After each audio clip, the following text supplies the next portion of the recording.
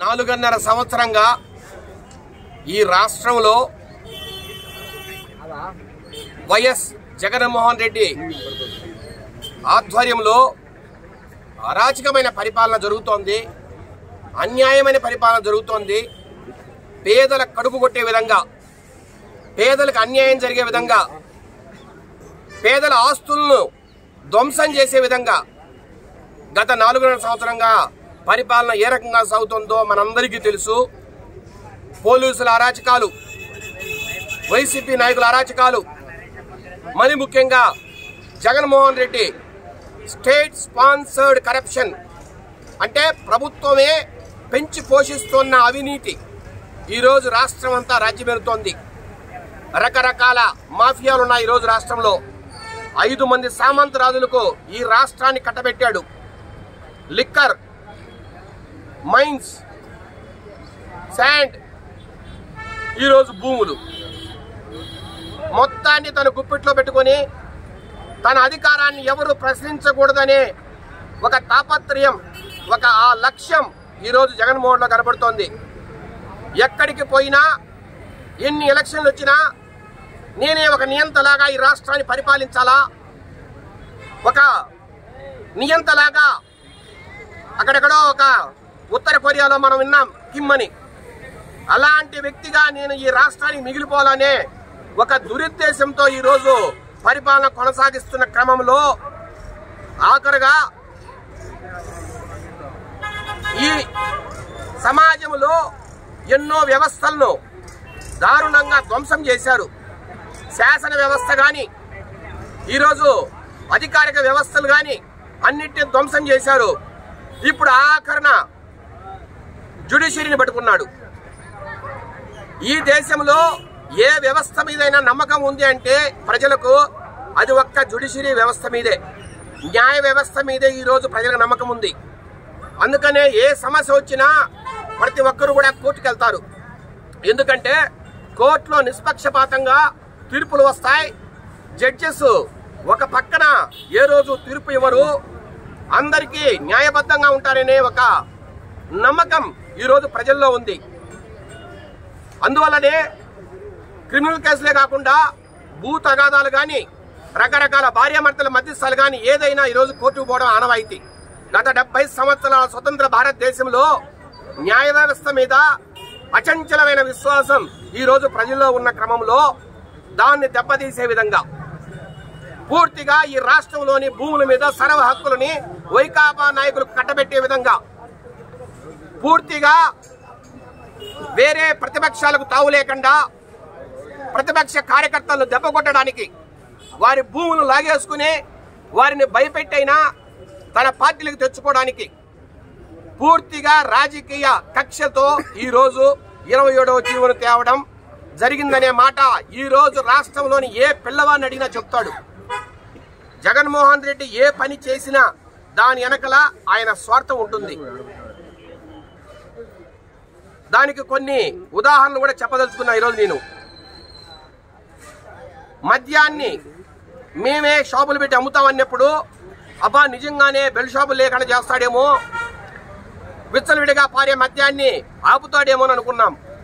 తీరా చూస్తే ఒక పక్క పేదవారికి పథకాలని చెప్పి కొంత డబ్బు అందిస్తూ అదే పేదవారి వీక్నెస్ ఏదైతే మందు తాగాలా కష్టపడి ఇంటికి వస్తే రెండు పెక్కులు మంది వేయాలనే ఒక వీక్నెస్ని క్యాష్ చేసుకోవడం.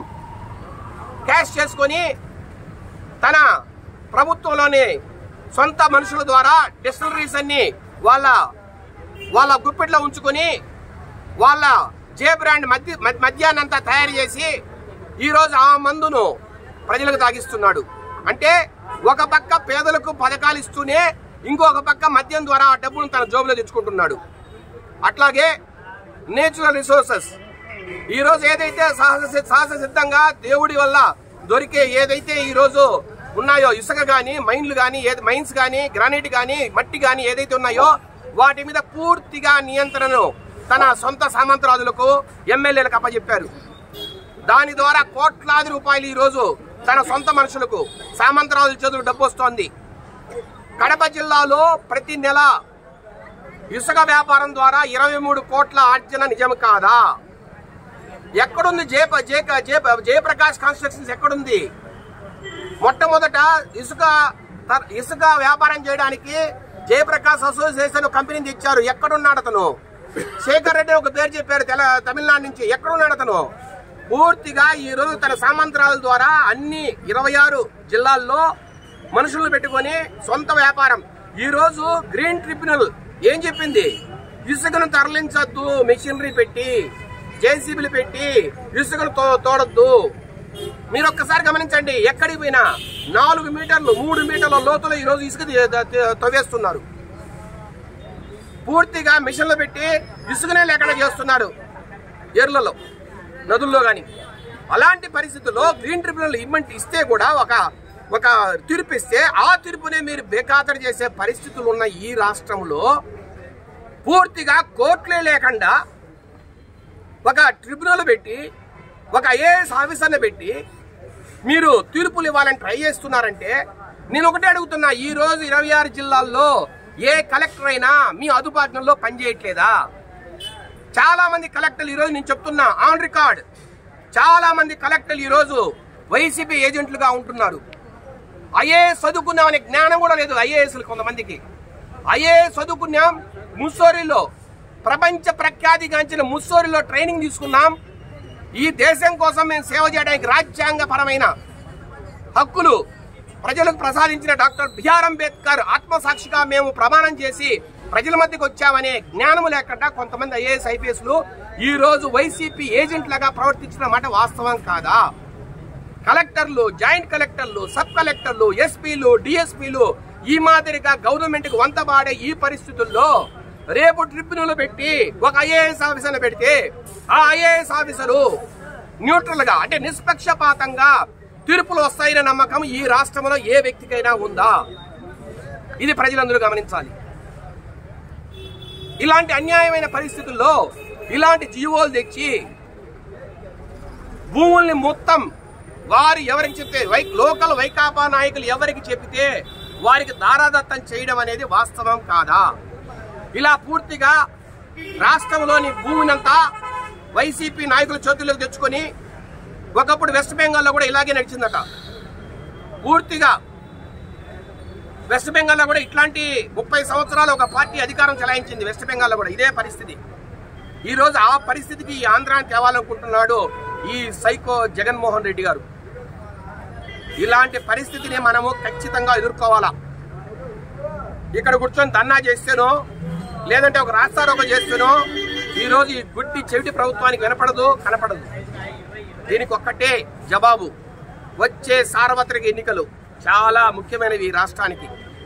ఈ రాష్ట్ర ప్రజలు ప్రశాంతంగా బతకాలన్నా తలెత్తుకొని తిరగాలన్నా ప్రతి వ్యక్తి తన స్వేచ్ఛగా సంతోషంగా సమాన అవకాశాలతో మెలగాలన్నా ఒకప్పుడు గాంధీజీ చెప్పాడు ఈ సమాజంలో అట్టడుగునున్న వ్యక్తి కూడా స్వేచ్ఛావాయులు పీల్చినప్పుడే కుల మత భేదాలు లేని సమాజాన్ని మనం సృష్టించినప్పుడే ప్రతి ఒక్కరికి స్వేచ్ఛావాయులు పీల్చగలిగినప్పుడే ఇది రామరాజ్యం అన్నాడు. అలాంటి రామరాజ్యం కావాలంటే ఈ జగన్మోహన్ రెడ్డి గారు అధికారం నుంచి దిగిపోవాలి. అది ఒక్కటే దీనికి శాశ్వత పరిష్కారం. ఆ పరిష్కారం దొరకాలంటే వచ్చే సార్వత్రిక ఎన్నికల్లో జగన్మోహన్ రెడ్డిని ఆయన వైఎస్ఆర్ కాంగ్రెస్ పార్టీని నిజంగా కూడా వైఎస్ఆర్ ఆత్మకు శోభిస్తూ ఉంటుంది ఈరోజు. ఇలాంటి వ్యక్తి నాకు పుట్టాడా? ఇలాంటి పరిస్థితి నాకు వచ్చిందా? నా పేరు పెట్టుకుని ఒక పార్టీ పెట్టి ఈ రాష్ట్రాన్ని ధ్వంసం చేస్తున్నాడే అని వైఎస్ఆర్ వైఎస్ రాజశేఖర్ గారి ఆత్మ ఈ రోజు బాధపడుతూ ఉంటుంది. ఇంకా కొంతమంది నాయకులు బాగా కొడుతున్నారు. వైఎస్ఆర్ గారు ఫీజు రియంబర్స్మెంట్ పెట్టారు ఆరోగ్యశ్రీ పెట్టారు. వైఎస్ఆర్ గవర్నమెంట్లో ఫీజు రియంబర్స్మెంట్లు ఆరోగ్యశ్రీలు ఎలా నడిచేవి? ఈరోజు ఎలా నడుస్తున్నాయో దేశం అంతా తెలుసు ఈరోజు ఎక్కడ చూసినా కాలేజీలకు అప్పులు పెట్టారు. కోట్లాది కోట్లు పెండింగ్ పేమెంట్స్ ఉన్నాయి. ఈరోజు ఏ కాలేజీ మీద ఆఖరికి మాకు గవర్నమెంట్ ఇస్తే డబ్బు మాకు అవసరం లేదు. మీరు తెచ్చి కట్టండి అని తల్లిదండ్రులను బెదిరించే పరిస్థితి. డబ్బు కట్టకపోతే హాల్ టికెట్లు ఇవ్వలేని పరిస్థితి కాలేజీలు. ఇలాంటి పరిస్థితుల్లో ఫీజు రియంబర్స్మెంట్ కరెక్ట్గా నడుస్తోందా? అట్లాగే ఆరోగ్యశ్రీ. వందల కోట్ల రూపాయలు. వందల కోట్ల రూపాయలు ఈరోజు రోజు అప్పున్నారు గవర్నమెంట్. వాళ్ళే చదులు ఎత్తేశారు. మేము ఇంకా ఆరోగ్యశ్రీ తరఫున వైద్యం చేయలేము. మాకు డబ్బులు ఇస్తేనే మాట్లాడతామనే పరిస్థితి. అలా వైఎస్ఆర్ ఆత్మగా క్షోభించేలా వైఎస్ రాజశేఖర రెడ్డి బాధపడేలా ఈరోజు పరిపాలన సాగిస్తున్న జగన్మోహన్ రెడ్డి గారికి అందరం కూడా బై బై జగన్ అని చెప్పకపోతే పూర్తిగా ఈ రాష్ట్రం మరో ఉత్తర కొరియానో లేకపోతే సౌత్ ఆఫ్రికా దేశాల్లో చాలా దారుణమైన పరిస్థితులు ఉన్న ఏ కెన్యానో నైరోబీలాగా ఇక్కడ కూడా తయారవుతుందని నేను ప్రజలందరికీ కూడా వేడుకుంటున్నాం. ఈ ఒక్కసారి ఈసారి మాత్రం ఈ ఒక్కసారి మాత్రం ప్రతి ఒక్కరూ కూడా చైతన్యవంతులై వైఎస్ఆర్ కాంగ్రెస్ పార్టీని ఓడగొట్టకపోతే దానికి ప్రత్యాయంగా ఉన్న తెలుగుదేశం జనసేన పార్టీని గెలిపించకపోతే మళ్ళా చంద్రబాబు నాయుడు గారు పదవిలోకి రాకపోతే ఈ రాష్ట్రం సర్వనాశనం అయిపోతుంది కూడా ఈ సందర్భంగా మీ అందరికీ తెలియజేస్తూ ప్రజలకు అందరికీ కూడా చేతులెత్తి మొక్కుతున్నాం. ఒక్కసారి ఈ సార్వత్రిక ఎన్నికలు ఖచ్చితంగా